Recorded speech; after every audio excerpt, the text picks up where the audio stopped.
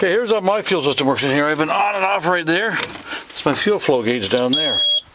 Okay, back here, I have a hose from the right wing tank and a hose from the left wing tank that goes from the wing tank down around, and then I have each tank can independently be shut off. They both go through a T right down to a little clear glass gas filter. You'll be able to see it there. So if I open the tank, watch, I'll turn my, I have a Mikuni fuel pump right below that.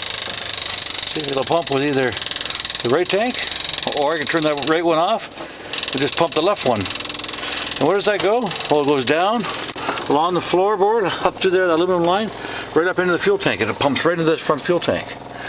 Not all Kitfoxes have a front fuel tank. I've got almost 1,500, maybe a bit more, 1,600 hours in this Kitfox, and I had no problem at all with it. Works pretty good.